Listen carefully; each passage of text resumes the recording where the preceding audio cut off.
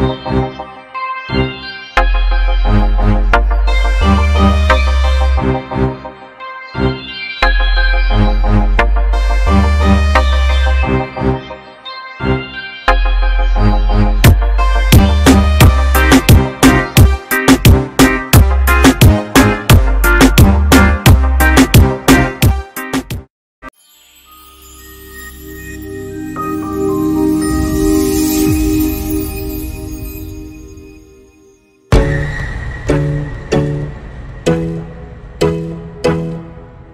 Jungle.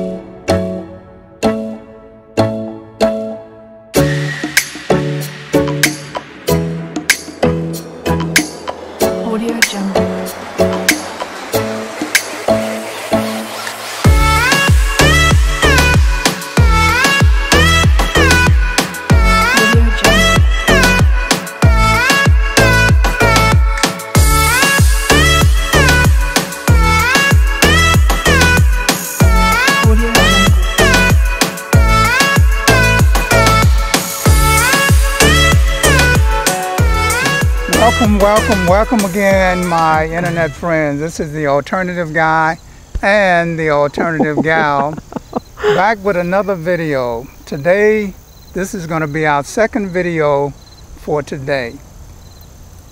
This video is going to be about this beautiful, beautiful flower here called passion flower.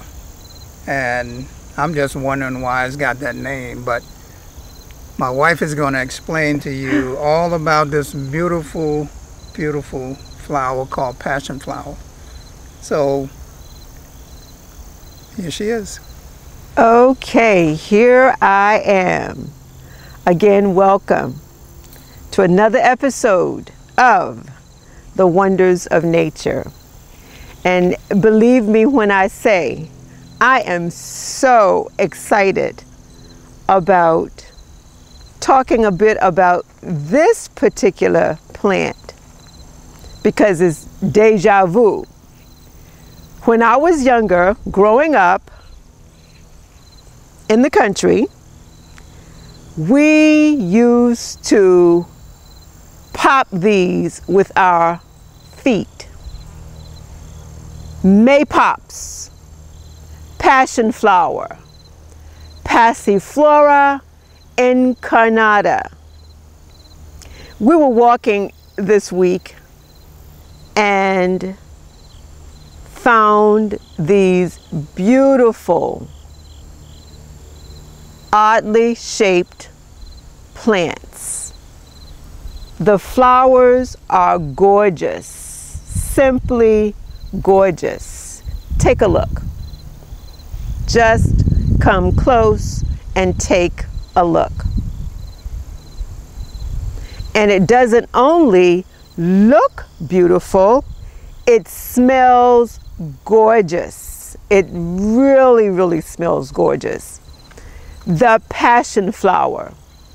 It's known as a general relaxant. And the only part of this particular herb that cannot be used are the roots. The roots are said to be very toxic. The passion flower is an herb that is used for anxiety. Now, studies have shown this. I know this because I've had passion flower tea. It is also used for those sleepless, restless nights. And it's also been studied and proven that it aids in the symptoms of ADHD. It also aids in high blood pressure. Now, let me say this, friends. We're living in an area where pharmaceuticals are high on the list of wellness. But let me say to you, let's rethink it. The pharmacy, pharmaceuticals, use the plants from nature, but the downfall is they add chemical. It tells you some horrendous side effects of these drugs that we're being given. So let's go back to nature, the first mother. Passion flower also reduces the symptoms for menopause. It balances the mood. Passion flower has vitamin C and vitamin A. And for the ladies that are listening, we know that when we get to a certain age, we're concerned about anti aging. Well, let me let you know that the vitamin A in passion flower prevents the aging process in our skin. It aids in the elasticity of the cells in our face and under our neck area. This particular herb also aids in smoking withdrawal. It aids in gastrointestinal issues, and that's another thing that inundates our community. The foods that we eat are causing many, many problems. So, a cup of this tea, passion flower tea, will aid in that gut health. It enhances the biome, the gut biome. So, say it again, it won't do any harm if we use the flowers for making tea, or we can use these beautiful leaves for making tea. And again, the maypop itself, we know that it's ripe when it begins to drop from the plant to the ground and it has a tinge of yellow or orangeness in it.